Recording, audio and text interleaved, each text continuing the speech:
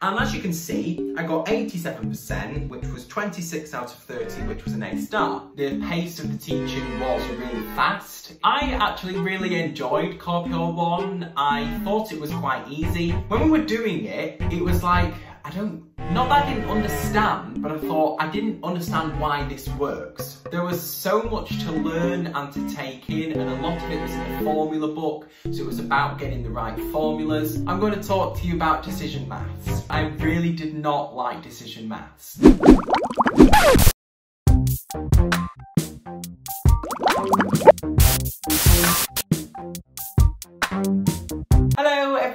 And welcome back to a brand new video. Now for today's video I am going to be taking you through my experience of A-level further maths, what I thought about it, how I felt, everything you need to know about A-level further maths and my experience is in this video. I did do a video for A-level maths which I will put in a box up here. Basically I went through my experience in that video and I asked whether you wanted to see one for further maths and a few of you did. I've got, again, my laptop down here and I've split this video up into, bear with me, five sections. I will put everything timestamped in the description down below so you can skip to a certain section if you want to. Oh, I shouldn't have done this. So just like I did A-level maths, I did A-level further maths in a year. And that was because I did the whole of my A-level maths in my first year and sat my real exam at the end of my first year. And then in my second year, I moved on to further maths and I would have sat my exam at the end of my second year. But of course, coronavirus got in the way. So I just want to put that out there. We did do A-level further maths really, really quickly. The pace of the teaching was really fast. It didn't put me off too much because I kept up with it, but I just want to tell you that I did it in a year. So section one of this video is the course that I did. Now, I did the Edexcel exam board. We had four modules. The two modules that we had to do, and everybody has to do if you do Edexcel, is Core Pure 1 and Core Pure 2, and they're both pure modules and I like pure so I was okay with those. And then we had two other modules that we had to choose from. We could either do more statistics, more mechanics, more pure or decision. I think that's all of them. And the two that we chose was FP1, which was more pure maths, further pure, and decision maths, which we'll get onto later on in the video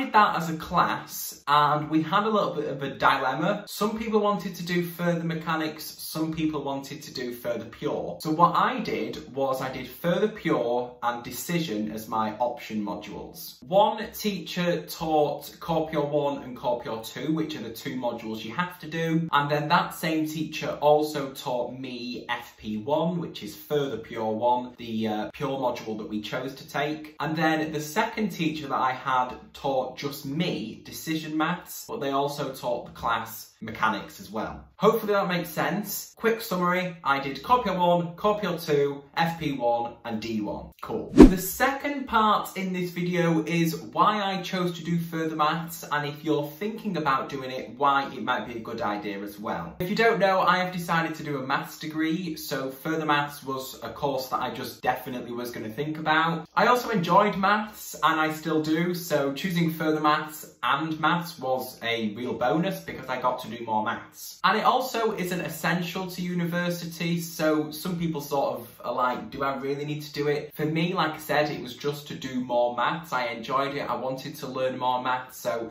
it was a subject that I definitely wanted to take. The third part in this video is course content. So, I'm looking down here because I've got my laptop. The first thing I'm going to be talking about is Core Pure 1. I actually really enjoyed Core Pure 1. I thought it was quite easy and I didn't actually think there was too much of a jump from A-level maths. The only thing I would have to say is that you do the maths and you sort of think like, where is all this coming from? Why am I learning this? Because with Core Pure 1, what I felt was that you learn the maths, but you're not really told how you can apply it. But with Core Pure 1, I didn't really know what to expect because I obviously hadn't seen anything in further maths and I hadn't done further maths GCSE as well, so I didn't know what the sort of further maths style was like. I did feel like the chapters were a little bit similar, so I'll put on screen here the book that we did. It was the Edexcel book, and I sort of felt as though chapter one with complex numbers and chapter four, which was roots of polynomials, linked together. And obviously we did chapter one first, we did them all in order, so we learned the complex numbers. And then when we went to chapter four, I was like, oh, this is okay. I can apply this here. I've sort of seen this before, and chapter one was sort of put into context. My favourite topic from CP1 or Core Pure 1 was proof by induction. When we were doing it, it was like, I don't not that I didn't understand, but I thought I didn't understand why this works. To go from a statement and then proving it really, really nicely to get into a nice answer, and the answer that you write at the end is always the same. So it was just sort of following a step and learning it, and that's why I liked it. My easiest topic from CP1 was definitely volumes of revolution. It was literally just integrating with pi out the front. Was it with pi out the front? I've not done math for so long that I actually can't remember. It is with a pi out the front. Do you square it? Oh, I'm not sure. Now I'm saying that, I can't remember. But when I was doing further maths, it was the.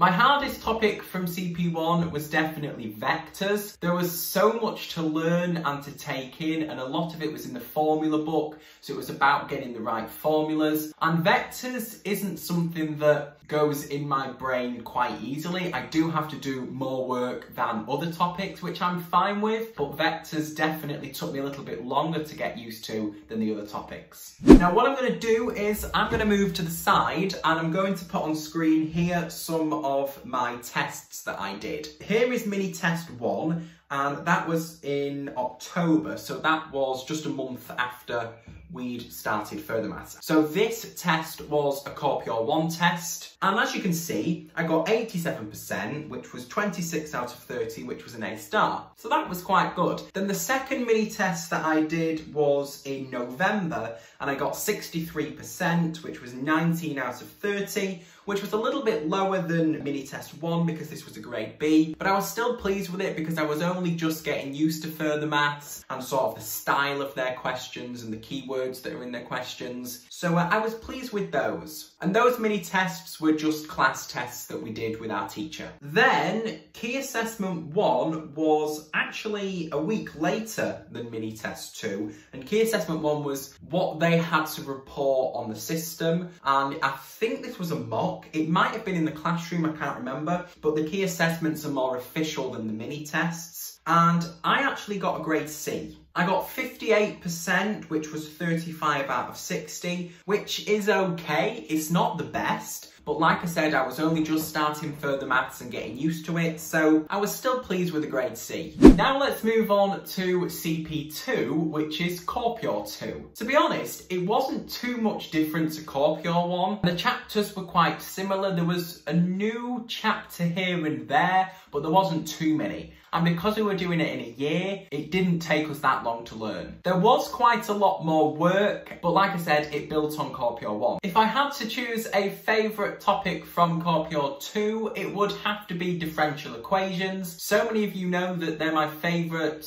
or one of my favourite topics in pure maths. I just find them really nice questions. I think they're quite satisfying to do. Uh, yes, I did just say that. That would be my favourite. If I had to say an easiest topic, it would probably be again volumes of revolution because you didn't learn anything new that you didn't know in Core Pure 1. The only thing you learned was how to do it parametrically. My hardest part of Core Pure 2 was definitely polar coordinates. Still to this day, I don't think I understand polar coordinates, but that would be my hardest topic. Now again, I'm going to show you some exam results. I only have one official exam on the system because that was all that was put on. It was Key Assessment 2 and it was done in January and I actually got an A. I got 67 out of 100, which was of course 67%. So I was pleased with that. We did do more exams, but they're not on the system for some reason, so that's the only one that I have to show you.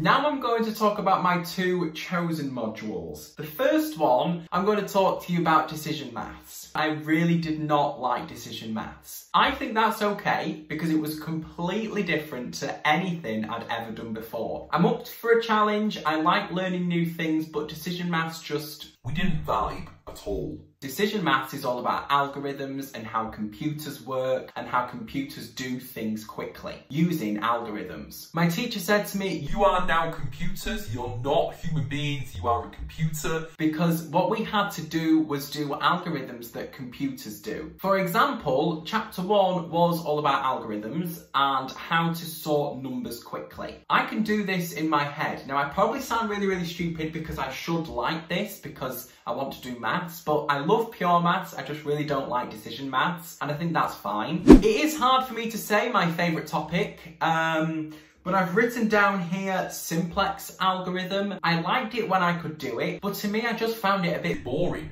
I'm not gonna lie. my easiest topic would probably be algorithms, just ordering numbers, because that's really all you have to do in chapter one. My hardest topic in decision maths was anything else that I've not mentioned, because I found it hard. Now I'm going to show you some exam results. So I have three exams. The first exam was like official exam that I did with my teacher, which was key assessment two, but I got 52%, which was a B. And then we had a mini test, which we just did in class. And Oh dear. we did this in February and I got 13 out of 35, which was 37%, which was a D. Now that seems really, really bad, but it, I haven't done any of this maths ever before, so I'm not going to get an A star straight away. Some people did, but I just, I didn't vibe with decision maths. Is that the right word? I don't know. Then we had an official mock, which was in March, and we did those in the hall, like a, you know, just like a real exam. And I got 37 out of 75, which was 49%, which was an improvement. I did better. Still wasn't great. It was still a grade D, but I was proud of myself because I was improving. And, you know, it just took me a little bit longer. That's all we're going to say about decision maths. If you've got any questions about it, please let me know in the comments and I'll answer them. Overall, it just wasn't for me, but that's fine fine.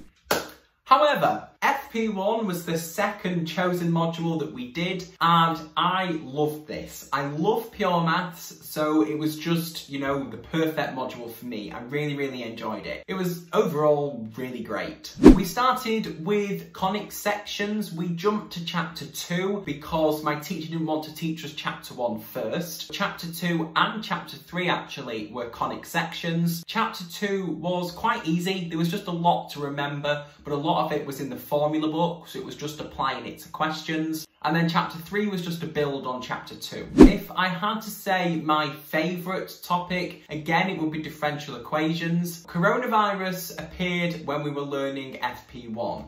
So we only learn about three quarters of the course in class and then we went into lockdown. So we were we weren't actually taught anything online. We were just sent some notes that we had to copy up and we had to do some questions at home. But I taught myself reducible differential equations. So that was my favourite part of the maths. I'm going to be totally honest with you, because I learnt it at home because we were in lockdown, I've kind of forgotten it. I feel like if I was to do a question, I would have to look at some notes and I would still have a little bit of the knowledge. So we might, before we go to university, have to go over that again, but I'm up for that. my easiest topic in FP1 was without a doubt inequalities and maybe T formula as well, but inequalities, we just didn't learn anything new. It was chapter four, I think, in the Excel book, and it was just so easy. There was only one new thing that we learned in the whole chapter, and I think we did the chapter in about a day. That was definitely the easiest. I actually don't think I had, from what I learned, I had a really, really hard chapter. Like I said, we didn't do chapter one, and chapter one was vectors. So I think if we were to have done chapter one, if lockdown didn't happen, then chapter one would have been a little bit harder for me because it was vectors and I had to work a little bit harder with Core Pure 2 vectors. But I don't know because we didn't end up doing it. Overall, FP1 was probably my favourite module out of the four. Section four in this video is exams. Now, of course, because we went into lockdown, I didn't do my official exams, but I thought I would just address exams in case anybody's watching watching this and wondering how the exams work and want to know a little bit more. So for the Edexcel course, what I would have done is I would have sat four exams. Paper one and paper two would have been a mixture of anything from Core Pure 1 and Core Pure 2. And then paper 3 would have been anything from Further Pure 1. And paper 4 would have been anything from Decision. I was okay with CP1 and CP2, so paper 1 and paper 2 would have probably been okay for me. Paper 3 maybe would have been a little bit harder because we didn't have too long to learn the FP1 stuff. And Decision Maths, well... I've just explained Decision Maths to you. It was the last exam, I think it was the 17th of June that I would have sat Decision Maths, so I did have the longest time and I might have got better with Decision Maths. Fingers crossed I would have done. If exams were to have gone ahead, I would have put Decision Maths as my number one priority because it was the obviously the maths that I didn't do too well at. I actually think having four exams is good because I didn't know how Decision Maths was going to go. In my mind, I was thinking it's okay because I've got paper one, paper two and paper three which are pure modules that would have helped me get my grade up. But like I said, I never actually sat the exams because of lockdown. I just wanted to include an exam section so you knew what I would have done. Section 5 in this video. That was really high pitched and really loud. I apologise. Section 5 is my overall opinion. I would 100% recommend further maths to anybody thinking of doing a maths related degree, engineering, physics degree, anything like that, further maths is perfect for. I'm going crazy because it's quarter to 10 and I really want to go to bed.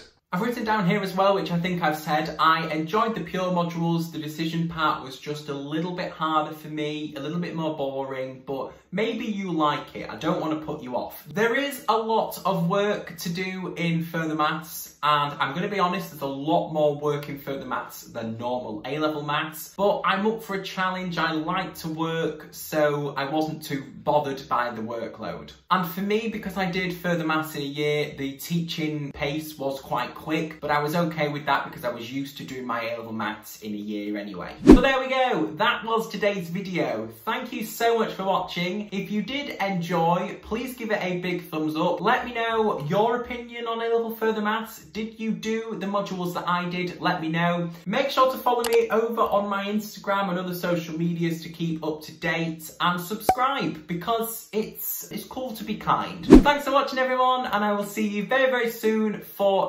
another video. Thanks for watching. Bye.